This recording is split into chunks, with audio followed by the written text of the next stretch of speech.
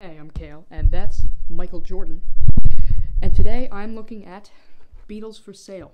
Beatles for Sale is the Beatles' fourth studio album, released December of 1964. It was released during the height of Beatlemania when they were touring like crazy, so it was and it was recorded in like one brief pause of touring from August to October of 1964. So they were really just rushing to like get it done and get an album out so they could go back to touring which made the album sound a little bit hectic. It's to me, I consider the first experimental Beatles album, sort of. It's um, more folky and it kind of introduces jangle pop a little bit, like right before the Byrds did. The whole album, too, is basically just like American country music. They had been like touring the southern United States and they had been getting more into like Carl Perkins and Johnny Cash and stuff like that. So, like, there's two Carl Perkins covers on this album, and then like three country songs that could easily just pass as a Carl Perkins cover. But yeah, let's get into the recording, shall we, Michael?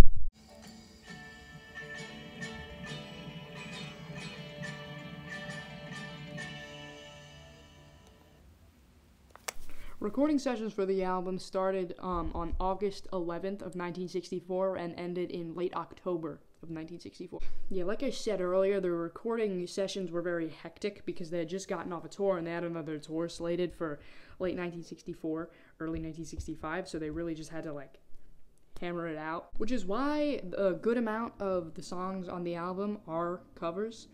The Beatles had had covers on every album except Hard Day's Night up until th- this time, but this is like not majority covers, but there's more covers than there have been on any album previous.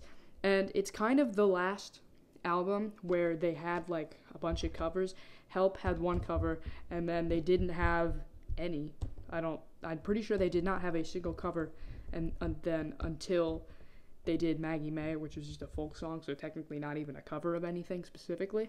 But yeah, that's kind of all I have about recording. It was just hectic and quick. Um, but yeah, let's go to the track by track breakdown.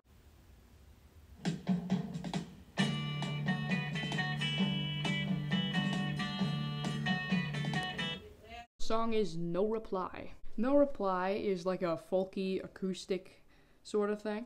John Lennon initially wrote the song for an artist uh, named Tommy Quickly, who is uh, also managed by Brian Epstein. With the first reoccurring theme of the episode, the song cited by David Crosby as sort of like really inspiring the Byrds to start recording music, as did kind of this whole album, which I'm obviously going to get into as the album pans out. Because the album sort of sent jangle pop and folk pop into the mainstream where it would be acted upon for like two or three years most notably by the Byrds and David Crosby. Yeah, the song is basically acoustic folk, but the um, guitar, the acoustic guitar riff, and the beat that plays over each verse is sort of like bossa nova y, which was a genre that was very popular specifically in like 1964. Next song is I'm a Loser.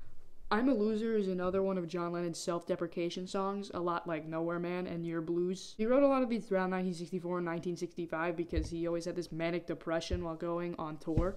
And this one is straight up a country song. This is just like, this could pass as like a Johnny Cash or Carl Perkins cover. This is just literally a country song. Another thing, John Lennon sings his lowest register of any Beatles song in this. So that's something. Next up is Babies in Black, which is another just straight up country song.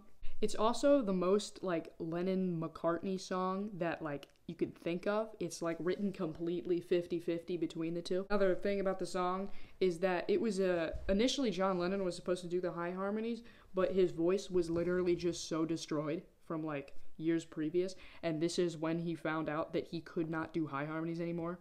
That he wanted to, for like majority of the songs from the rest of the Beatles discography, he was supposed to be doing high harmonies, but his voice was literally too destroyed from just touring for the past four years that he just couldn't do it. It was also the first album, mm, first song recorded for the album, uh, recorded entirely on the first day on August 11th. Next up is Rock and Roll Music. Rock and Roll Music is a Chuck Berry song from 1957. Um, George Martin plays uh, piano on the song, so that's cool. It was recorded sort of just like like uh, how they recorded "Please Please Me" as an album, just like literally just playing the song with the instruments while singing, just all is all all is one. Watch that clip back. That sounded like I was having a stroke. It was also released as a single uh, for the album, like a week after the album was released. And next up is I'll Follow the Sun. I'll Follow the Sun is like one of the oldest Beatles songs.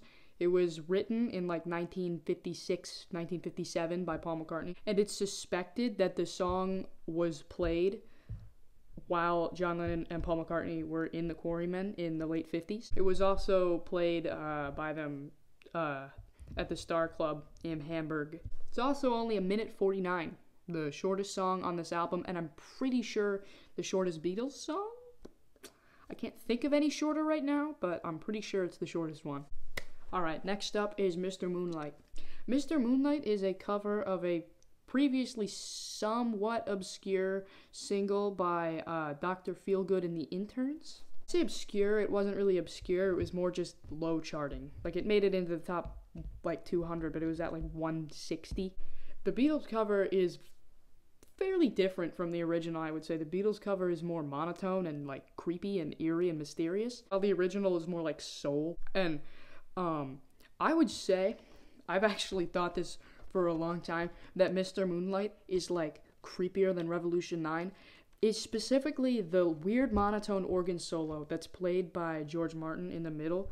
That sound, it like is just like freaks me out for some reason. I don't know why, but yeah, there's a less creepy version of it, also from 1964 by the Hollies with uh, a very very tiny Graham Nash on vocals. It's it's never it's never a Beatles episode if I don't randomly mention two or more of the members of Crosby, Stills, and Nash at one point.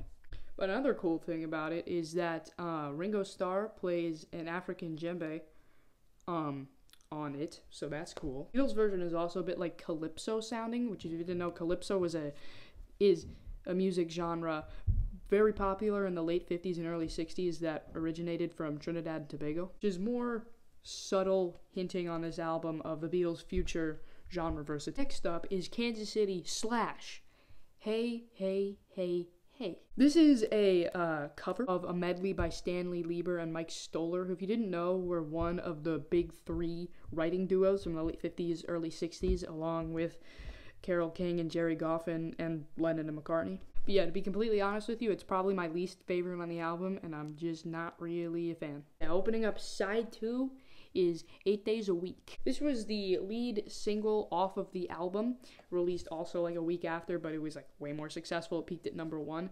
Despite the fact that it was the last song recorded for the album, yeah, it's it's pretty good. It's like you know a Beatles classic. How freaking fat this cat is. Next up is Words of Love.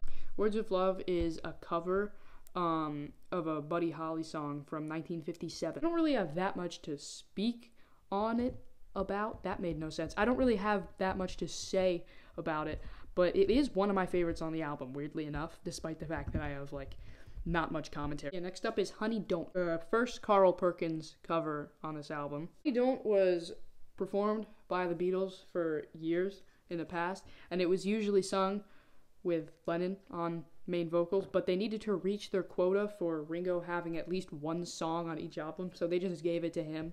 It's really messy and like not that good, but it it's charming. And it was like Ringo's favorite song, so you know that's another reason why they gave it to him, I guess. Next up is Every Little Thing. Every Little Thing is a very rare occurrence in the Beatles' discography, in which it was written mainly by Paul McCartney, but it was sung by John Lennon. At the current moment, I can't really think of any other Beatles songs in which one of them was the main writer but then the other one sung it. So yeah. It is also one of the first songs in the discography that kind of feature like different like different instrumentation. That sounded weird, but like instrumentation that they didn't usually use. Like like a piano to keep the time or like like they have a timpani over the chorus. Next up is I Don't Want to Spoil the Party. It's another rockabilly Carl Perkins style, style song that is a John Lennon self deprecation song. And I do like it. Uh, for a little bit, it was like my favorite on the album, but it has since shifted. Next up is What You're Doing.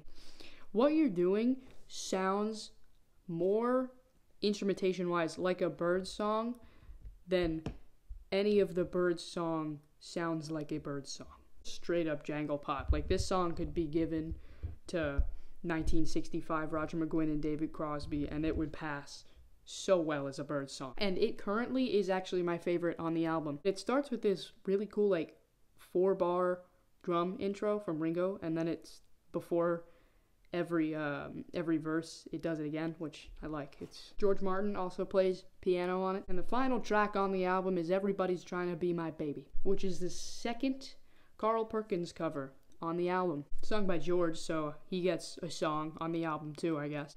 And I know that I was saying, like, that it was a sloppy album, but I feel like they could have picked a better outro.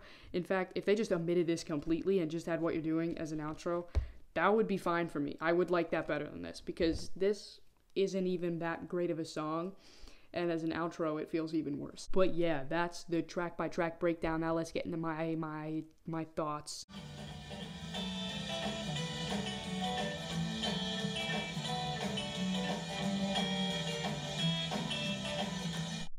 My thoughts are that it this is the most overhated album in the history of all of the albums.